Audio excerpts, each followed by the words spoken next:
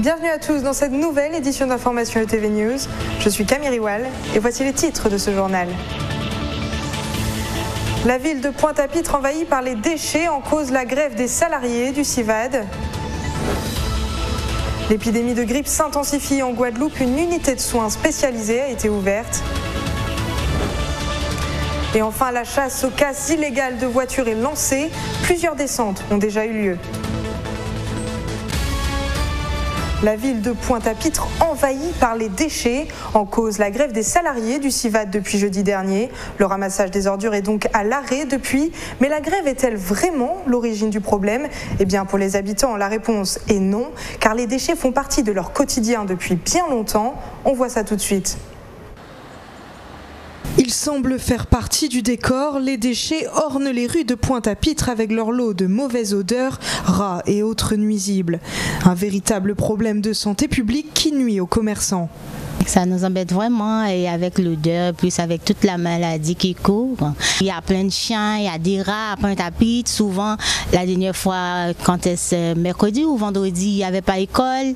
Il y, a, des rats à l'école, tout ça, ça vient de, des ordis. Quoi. La situation est critique depuis bien longtemps, mais elle s'est empirée ces derniers jours. En cause la grève du CIVAD depuis jeudi dernier, le ramassage des ordures est donc fortement perturbé. Mais pour les habitants, la gestion des déchets est un problème récurrent pour lequel chacun a sa part de responsabilité. Moi, je ne vois pas tellement la différence parce que dans la mesure que Pointe-à-Pitre est toujours sale, qui a grève, qui n'a pas grève, c'est toujours pareil. Il faut euh, aujourd'hui euh, reconnaître que les éléments ont été mis en place, euh, les moyens ont été mis en place par les collectivités. Donc il faudrait aujourd'hui que nous, nous aussi, nous mettons notre moyen, notre bonne volonté, notre diligence pour servir avec les outils qu'on nous a mis en place. Garder la ville propre est donc devenu un enjeu de société.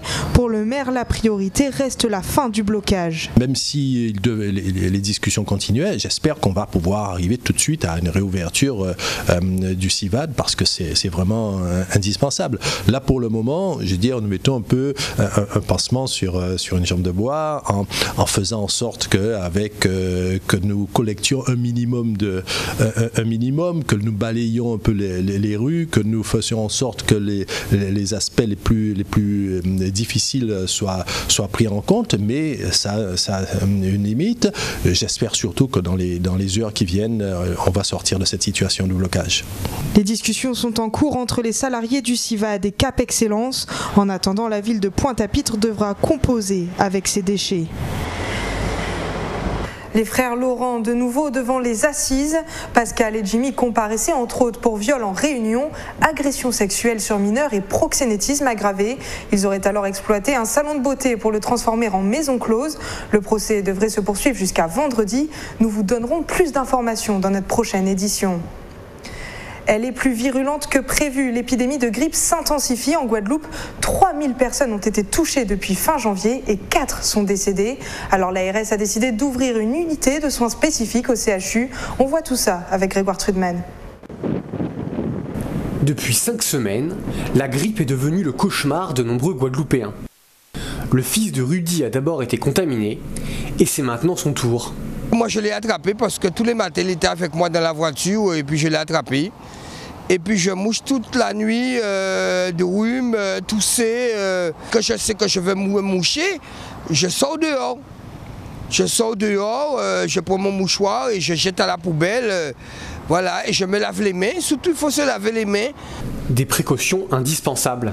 Depuis le début de l'épidémie, plus de 3000 Guadeloupéens ont été contaminés par le virus. Au CHU, une unité spéciale a été créée avec le renfort exceptionnel de matériel, mais aussi 8 infirmiers et un aide-soignant. Euh, il a été demandé, euh, sous couvert de l'ARS, euh, un renfort sanitaire pour permettre l'augmentation des lits d'unité de surveillance continue de la réanimation du CHU de la Guadeloupe, afin de répondre à un afflux de patients dans le cadre de l'épidémie de grippe. Nous avions, euh, comme vous le voyez là, des locaux qui pouvaient être réaffectés pour euh, augmenter le nombre de lits de surveillance continue. Ce qui a été demandé, c'est des moyens humains qui faisaient défaut supplémentaires et qui nous ont été accordés par la réserve sanitaire, encore appelée EPRUS. Si les épidémies sont habituelles en cette période de l'année, elles ne sont pourtant pas à prendre à la légère. En quelques semaines, 8 personnes ont été hospitalisées dans un état grave et 4 sont décédées. Sa mort était devenue un symbole du LKP. Jacques Binot avait été assassiné pendant la grève de 2009. Eh bien, la CGT Finances Publiques a décidé de lui rendre hommage dix ans après. Une marche blanche a été organisée aujourd'hui. On écoute tout de suite le secrétaire général du syndicat. Alors la présence aujourd'hui ici, c'est pour euh, véritablement euh, commémorer l'assassinat de notre collègue euh, disparu en 2009, dans la nuit du 17 au 18 février 2009. Jacques Binot a été assassiné.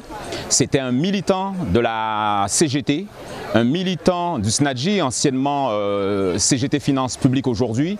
Et donc nous sommes là, pas pour faire le deuil, mais nous sommes là pour se souvenir, pour que que l'on n'oublie pas et surtout pour euh, commémorer son souvenir, ce souvenir de lui. C'est très important pour nous parce que ça n'a pas été euh, facile, ça a été très très difficile parce que c'est un assassinat.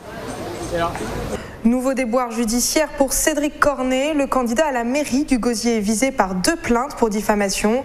Elles émaneraient de l'assistante sociale du collège Bambuc et du rectorat. Ces plaintes viennent alors s'ajouter à sa récente condamnation pour atteinte sexuelle sur mineur. Cédric Cornet, on le rappelle, avait notamment écopé de deux ans de prison avec sursis. Elles font presque partie du paysage guadeloupéen. Les carcasses de voitures s'accumulent sur les bords de route, mais plus pour longtemps. Des opérations sont lancées pour éradiquer ces casses sauvages. Il y en aurait actuellement 300 en Guadeloupe selon les chiffres de la DEAL.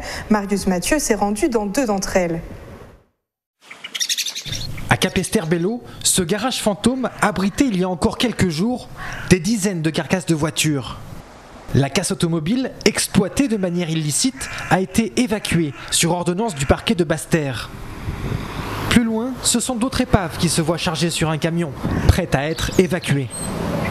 On est en train de faire un massage collectif avec euh, la région Guadeloupe et en accord avec la municipalité de Capesterbello. On a commencé ce matin, on a déjà ramassé 6 et là on est sur la 7e là. Cette carcasse de voiture sur ce bord de route, mais en Guadeloupe, il existerait 374 sites illégaux de ce genre. La DIL a même mis au point une méthode infaillible pour les détecter et pour à terme punir leurs propriétaires a été euh, formalisé en fait sous forme de fiche, hein, donc comme on peut le voir euh, sur ce schéma, où il y a une cartographie aérienne euh, des centres UHU qui ont pu être identifiés. Donc là, c'est sur le site de Trois-Rivières pour lequel une action qui a été faite récemment. Effectivement, sur cette carte, on voit bien des véhicules qui sont entreposés. Alors, les principaux risques qu'on peut retrouver dans un centre de regroupement de véhicules en usage, c'est principalement un risque de pollution, où il peut y avoir effectivement le rejet de plusieurs liquides, notamment liquides de refroidissement, liquides de frein. C'est principalement un risque de pollution pour les sols et pour les eaux, notamment si le site est situé euh, en bordure de rivière ou en bordure de mer. Il y a également un risque euh, sanitaire, puisque ça peut être à l'origine de gîtes larvaires euh, pour la prolifération de, moustiques. Et également une source de fréquentation des rats qui sont à l'origine de la leptospirose. Pas d'infraction pour l'exploitation d'un centre VHU illicite et de deux ans d'emprisonnement et 75 000 euros d'amende. Euh, sans oublier que quand même la responsabilité des propriétaires des véhicules peut également être engagée. L'abandon d'un véhicule peut exposer un particulier euh, à une amende de 1500 euros. Le message est clair, la lutte contre les décharges sauvages polluantes est lancée. En Guadeloupe, il existe 7 centres agréés pour recueillir légalement un véhicule hors d'usage. Et on termine avec le changement de gouvernance à Grand Sud, Caraïbes. C'est Joël Beaugendre qui a pris la succession de Lucette Michaud-Chevry samedi. Le maire de Capesterbello doit maintenant faire face à de nombreux défis, à commencer par la forte opposition au sein même de l'organisme.